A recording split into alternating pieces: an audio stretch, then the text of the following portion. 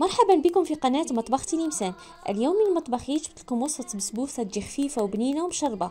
على شكل ثلاث طبقات محشية بكريمة بنينة بزاف بزاف بشرح مفصل باش هكذا كامل تنجحوا فيها. خليكم معايا باش تشوفوا المقادير وطريقة التحضير. تجي خفيفة تجي رطبة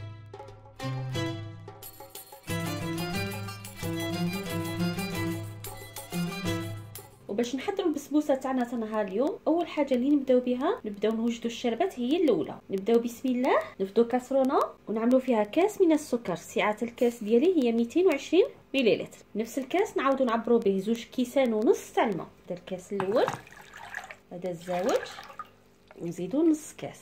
ونزيدو حبة تاع الليمون نكونوا خزناها مليح نحركوه مليح ونعملوه فوق النار يغلي. كي يبدا يغلي نحسبوا له خمس دقائق ونطفيو عليه. والشربات ديالنا نخليوه يبرد لنا. نعاود نرجع لكم.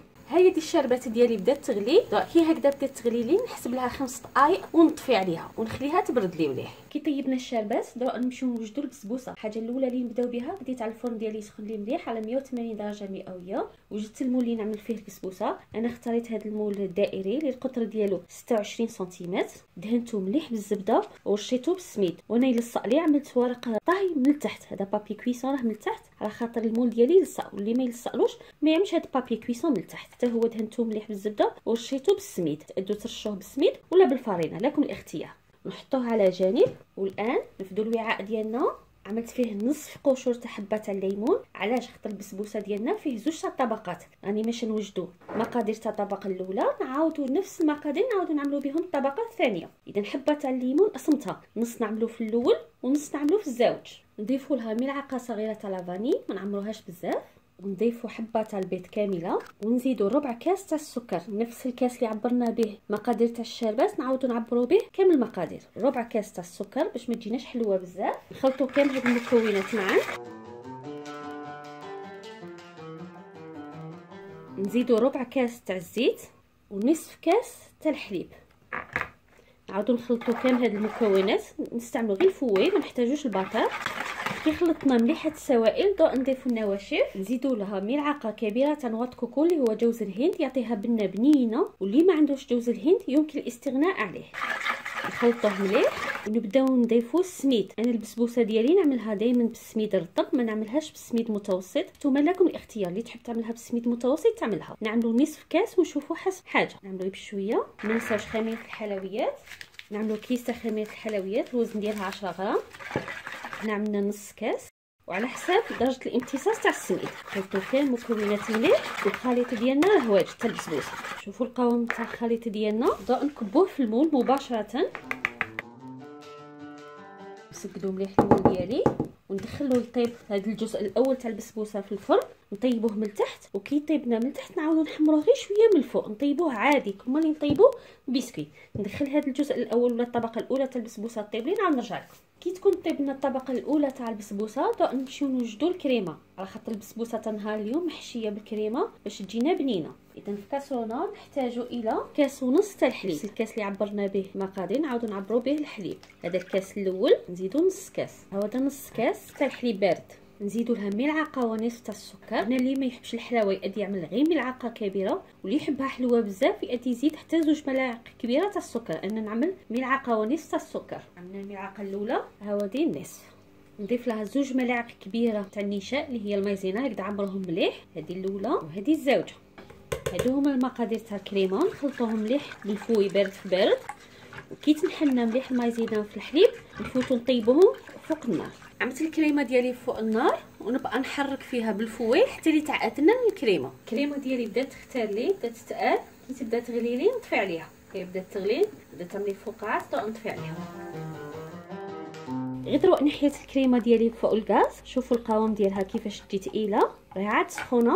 نضيف لها علبة تاع الياغورت الطبيعي الوزن ديالو. 100 غرام نزيد لها ملعقة صغيرة تاع لافاني. نخلط كامل المكونات مليح. نعملوا لافاني في التالي باش تبقى لنا بالريحة ديالها. ونكبوها مباشرة هي هكذا عاد سخونة فوق الطبقة الأولى تاع البسبوسة. اللي خاف الكريمة ديالو تبرد له يطيب الطبقة الأولى تاع البسبوسة. عاد يمشي يطيب الكريمة. باش هكذا كي توجد له الكريمة تكون البسبوسة ديالو طايبة. أنا البسبوسة ديالي صايرها طابت لي مباشرة الكريمة ديالي عاد سخونة.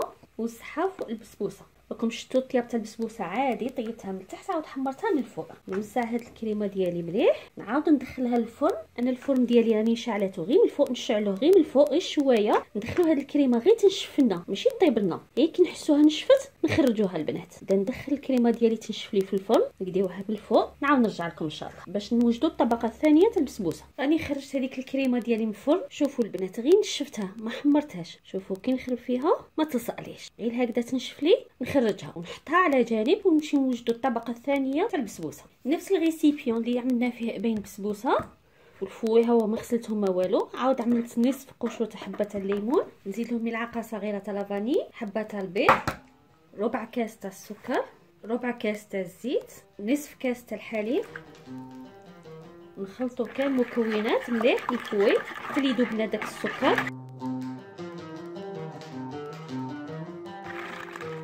وضاء نفوتو باش نضيفو النواشف نزيد لها ملعقة كبيرة تاع نواة كوكو اللي هو جوز الهند. نسيت باش نقولكم اللي ما عندوش نواة كوكو يعوض هاد الملعقة كبيرة بسميد سميد رطب ولا سميد موين نتوما ما تحبوا تعملوا البسبوسة. نزيد لها نصف كاس تاع السميد رطب. وما نساوش علبه تاع خميرة الحلويات الوزن ديالها 10 غرام. نخلطوا كامل المكونات ولا جاتكم بسبوسه خفيفه تقدروا تزيدوا لها ملعقه كبيرة تاع السميد. نتوما على حسب النوعية تاع السميد البنات. صحيح هذا هو القوام تاعها.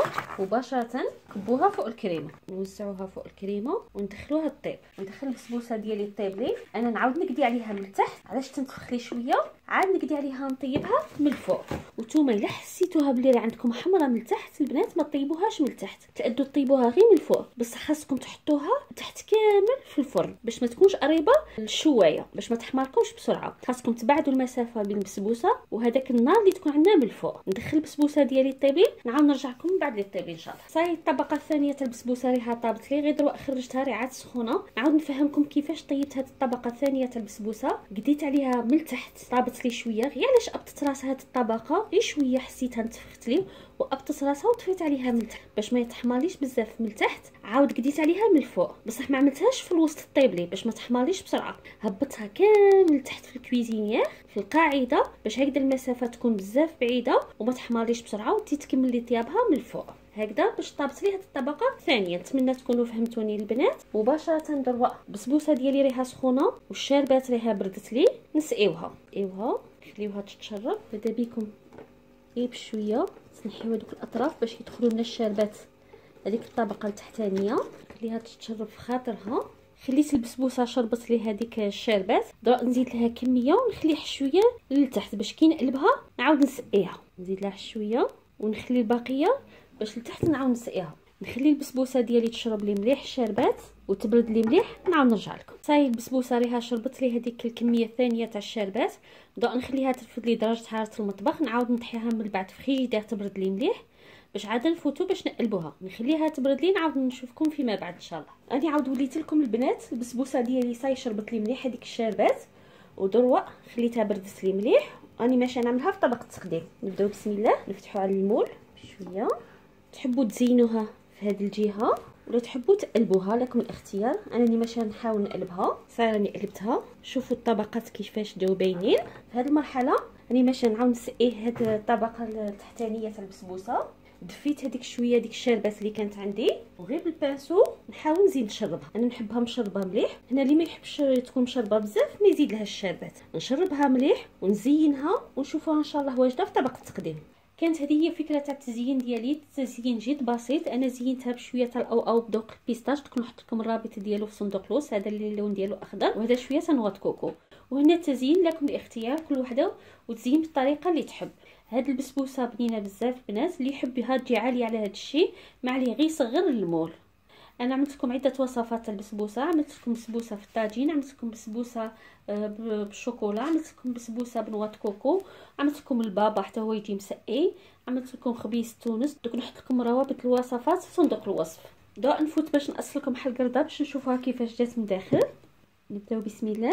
أنا شوية نحبها مشربة بزاف هنا لكم الاختيار اللي ما يحبهاش مسقية بزاف ما يعملهاش بزاف الشربات شوفوا البنات الطبقات. شوفوا الطبقة الأولى تاع البسبوسه هي الكريمة وهي الطبقة الثانية.